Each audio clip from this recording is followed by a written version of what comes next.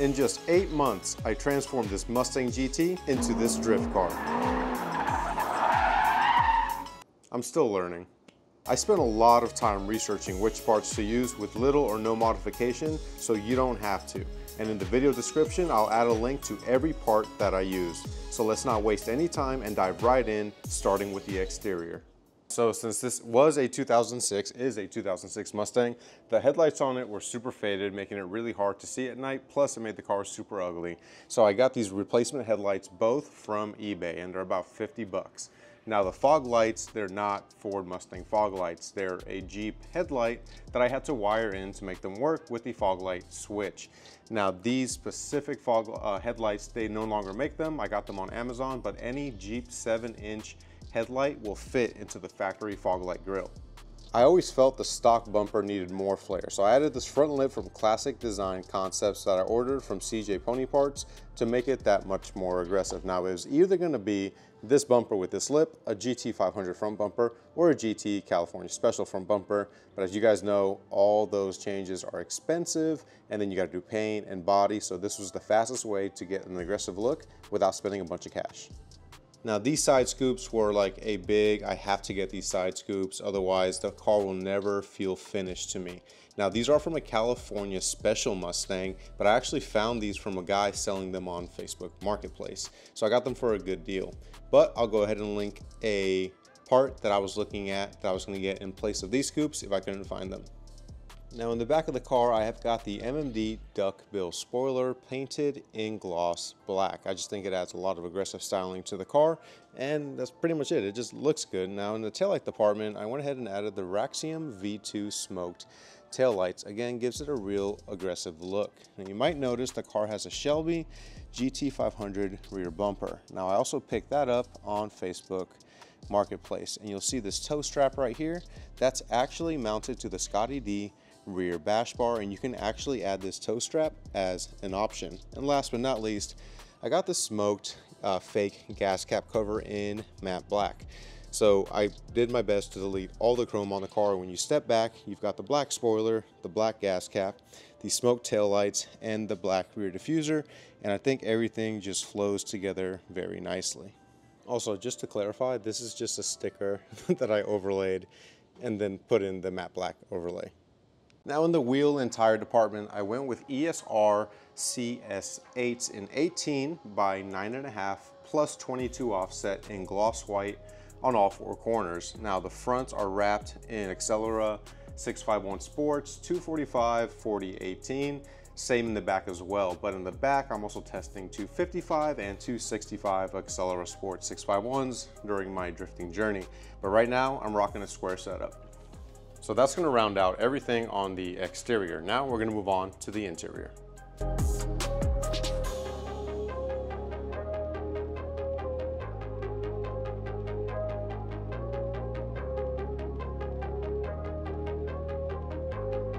All right, so diving right in, I did go ahead and remove the entire interior of this car. For one, it was leaking a lot of water and the carpets were completely uh, just destroyed. When I went to pull it to see what the awful smell was, the carpet literally fell apart and that's in the moment where I committed that I'm just gonna gut this car and commit it to just being a full-blown drift car. So one, the carpet was removed and then I removed the driver's seats, the passenger seats, and the rear seats. And what I did was I put a set of status racing seats with status harnesses. Uh, these are status circuit seats, and then I used the status um, side mounts for the chairs and a planted technology seat bracket on both the driver and passenger side. Now I do plan on caging this car, but in the meantime, I have this harness bar here, which is either a Braum Racing or a Redline 360. I can't remember either way. I'm not a huge fan of it, but it does get the job done in the meantime. Now the dash on this car was also cracked, so I went ahead and fixed it. I used a self flocking kit to get this done and then I added some eBay carbon fiber inlays just on the centerpieces. They're not the best but it looks a whole lot better than what it did. Now in the steering wheel department this is an LZ MFG leather wrap steering wheel and this is what I'm using for street driving but I am using a status suede steering wheel deep dish um, that I use when I drive. I just don't want to have to put gloves on every time I want to drive this car on the street. I do have a Hurst short throw shifter. I got this off Facebook Marketplace as well but I'll add a link to American Muscle where you can get the same exact shifter.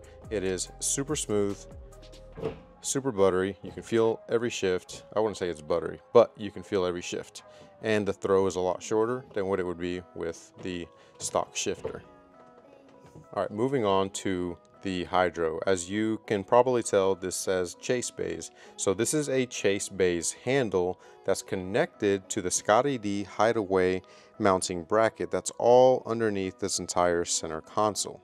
Now the Hydro is connected to the rear dual caliper setup with the Scotty D brake line kit. Now these are connected to power stop brakes right here in the back.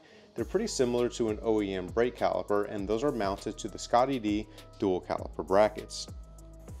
All right, let's talk suspension because the car is lowered. So the car is sitting on a custom spec set of BC Racing coilovers. Now, these are custom made for my car, the power, the modifications that I've done to it, and they were all specced out by Davey Peoples over at BC Racing. So in order for you to get the best set of coilovers for your drift car, I would definitely contact them. I added their contact information down below because they did make quite a few changes to these coilovers for my setup. Once you lower a straight axle Mustang, the axle is going to shift either left or right. So I got a Scotty D panhard brace and adjustable panhard bar and got this rear axle re-centered. I kept the factory rear sway bar in the back, but I did remove the sway bar completely from the front. Now, if you want to rock some sick negative camber like this, you're going to have to max out your coilovers to do so. But in order to do that, you're going to have to Dremel out your strut tower in order for the adjustment knob to clear just like so. Now you gotta do both sides, but now that we're underneath the hood of the car, let's talk about everything I've done to make sure this bad boy stays cool and stays on track. Now my goal with this engine was not massive power. They've got plenty of power to drift. My only concerns were in this Texas heat, keeping this car cool. So I did some basic maintenance stuff. The first thing I did was throw a K&N drop-in air filter. And then I wanna go ahead and get a whole new cold air intake, just didn't feel like messing with it. The key to this car was keeping it simple. Now from the intake, I went ahead and added a throttle body spacer that you can see right here. It's a billet throttle body spacer. That really just helps with throttle response without having to go in and get a tune. Now one of the main concerns with the Ford three valve engine is timing chains. Now this engine had 221,000 miles. It still does. It's probably got like 223,000 now. So I went ahead and changed out the timing chains and cam phasers with the Ford Performance set. Now it comes with everything you need and it is a labor intensive job, but it's doable. Between chains on the car, I realized that the tabs for the coil packs were broken. So I went ahead and got new valve covers and decided to French it up a little bit and get the Ford Racing ones. In order to make sure that everything was nice and sealed, I went ahead and replaced all the intake gaskets and added a J&L oil separator on the driver's side, as well as the passenger side. The things that you can't really see include a Mishimoto radiator, a Ford Performance fan, an Edelbrock water pump, and a Roush belt tensioner. Last but most certainly not least is going to be the strut tower brace. Now I didn't buy it, my good friend Brian Pauly, aka Falcon S197, he gifted it to me when I first got the car as a little housewarming present, if you will.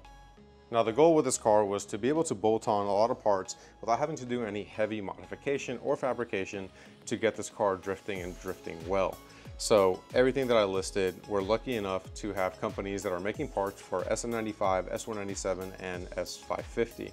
I chose S197 because it's one of my favorite body style Mustangs, if not my absolute favorite. But so far the car is handling and driving really well. I just need to learn how to drive it better. Now the last thing, and this is really up for preference, is my livery design. I've always loved livery designs. I did it on my Challenger. I changed it up a couple times. So when it came to this car, I really wanted to make a livery. So if you want to know how to get a custom drift livery for your car, make sure to check out this video. And don't forget to hit that like button, subscribe, and I'll catch you guys on the next video. Until next time, peace out.